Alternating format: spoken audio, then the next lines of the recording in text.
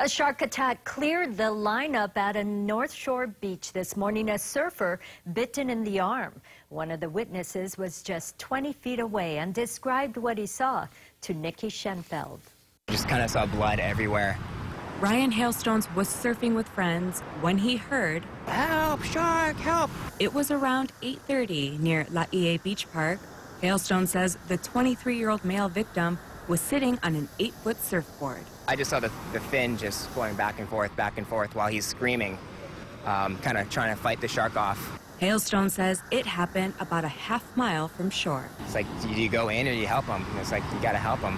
I'm told there was about 20 people out in the lineup when the incident happened, all of them helping bring the victim into shore, some of them using their surf leashes as tourniquets. Hailstone says the surf spot is usually empty, but thankful it was crowded today. We uh, safely got to the beach and just kind of snuck through one of these beach houses and uh, called 911 and kind of redid the tourniquet when we got down there. And right above his elbow, a huge chunk taken out. I mean, and he, it would look like he was losing blood really quick, so that tourniquet really helped.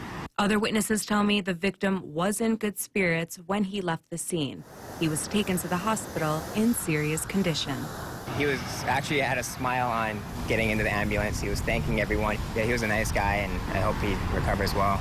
Lifeguards posted signs in the area shortly after. There are no lifeguards at this beach. From Laie, Nikki Schenfeld, KHON2 News.